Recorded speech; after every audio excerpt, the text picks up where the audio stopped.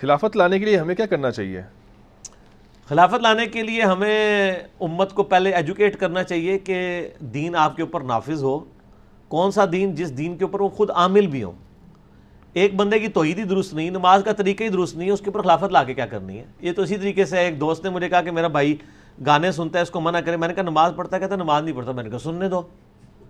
تو ایک بندہ نماز ہی نہیں پڑھتا، نہ اس کی توحید صحیح ہے، اس کے اوپر خلافت نامزد کرنے کی ضرورت نہیں، انہوں گوریاں تھلے رہنے دو۔ جو مرضی کرے۔ خلافت نامزد کرنے سے کوئی فائدہ نہیں ہوگا۔ زبردستی کا اسلام ایکسیپٹیبل نہیں ہوگا۔ جب تک لوگوں کے دل چینج نہیں ہوں گے۔ نبی علیہ السلام نے دل چینج کیے۔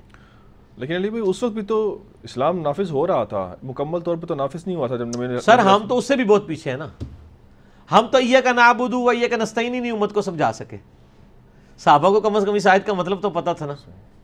صحابہ کوئی یعنی قبروں سے تو نہیں مانگتے تھے نا جا کے۔ جو خدا تک ہی نہیں پہنچے ہوئے ہیں، آپ نے خدا کا نظام ان کے اوپر نافذ کرنا ہے۔ جو اس آیت کو سن کے چڑھ دیں۔ تو آپ ان کے، ان کا اسلام کس قسم کا اسلام ہے؟ آپ خود ہی دیکھ سکتے ہیں۔